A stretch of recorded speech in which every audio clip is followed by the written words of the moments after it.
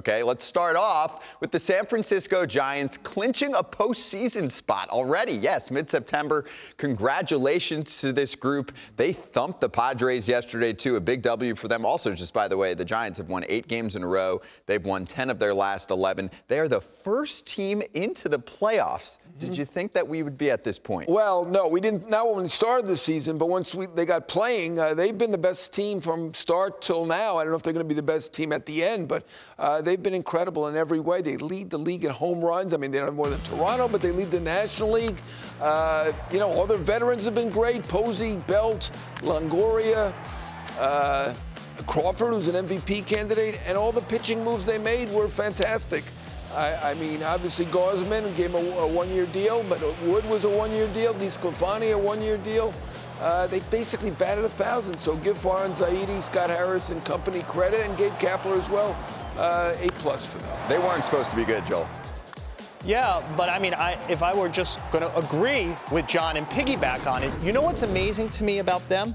They're like a team where nobody has played poorly this year. They've played good to great. I, will just go through this real quick. They have five batters who batted at least 250 times who have a 125 OPS plus or better, right? It's Belt, Crawford, Posey, Ruf, and Wade, LaMonte Wade, right? They have five starters who've made at least 20 starts, right, with a better than 100 ERA. Their rotation, Jon mentioned just most of them. And they have six relievers who've appeared in 40 games who have a 150 ERA plus or better. That's six. No other team has three, has more than three.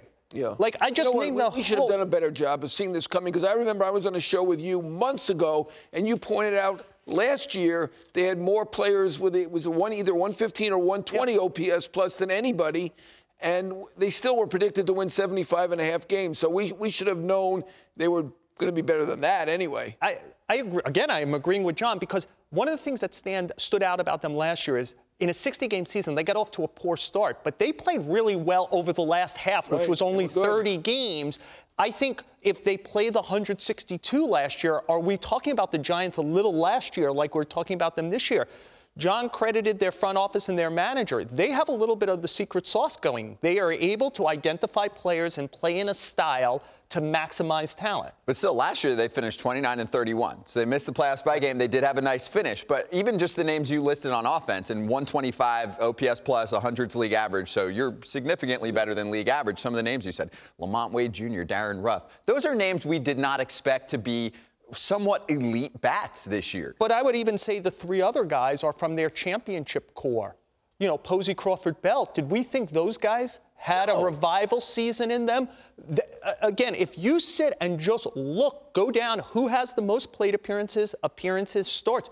There are absent people having bad seasons. Even the people who are below average are slightly below average, and they've given them nice stuff where you're looking and go, oh, that guy's had a good year, maybe not a great year. They're, they deserve this as a team.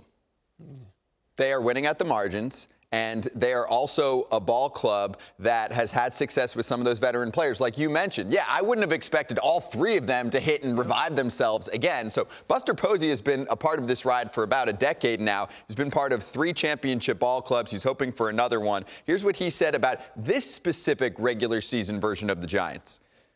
I'm really proud of what we've accomplished. Um, I mean, as far as regular season teams go, for me, this is this is number one. I mean, the, the, way we've played this year from start to finish has uh, been nothing like I've been a part of.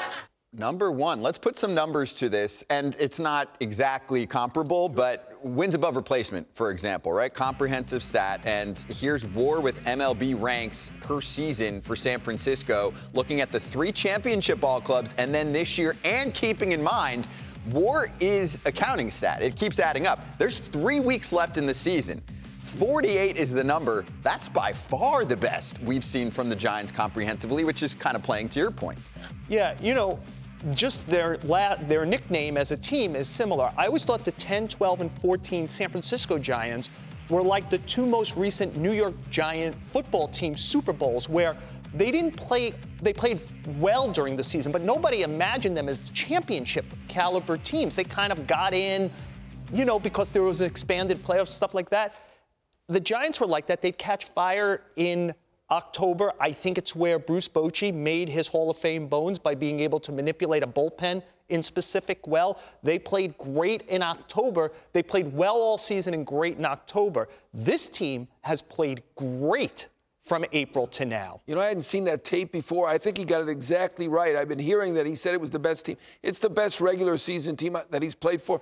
I don't think there's any question about that. Nobody expected those teams to go in there and win championships with the, with the talent that they had. They did it. Give them all the credit in the world. I think Bochy was a big part of that. Obviously, Bumgarner, Cain, Lincecum, the other pitchers they had, huge part of that. It's going to be interesting to see whether this team, which is the best, I don't think there's any question, it is the best regular season team that he has played on, whether they can run that gauntlet just as easily as those other teams did. Some of those teams did it surprisingly easily with that pitching. Now, their pitching is very good, but, you know, I mean, obviously, Madison Bumgarner is an all time great postseason pitcher. I don't know that anybody's going to duplicate that. Lincecum was a two time Cy Young winner. They don't have that on the staff. It's going to be interesting to see how they navigate the postseason. Regular season, he's absolutely right, 100%. We've never seen Logan Webb in the playoffs yet, but he's nasty. I yes. Mean, he is he is becoming something Lately, very special. So we'll see. And they're trying to play to the motto too with the t-shirts, right? Built for October, even though like you mentioned, those teams in the past were kind of built for October and won in October. We'll see if that's the case